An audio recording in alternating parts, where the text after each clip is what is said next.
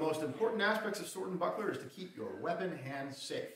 Let the buckler do its job. When you throw a cut, keep it behind the buckler.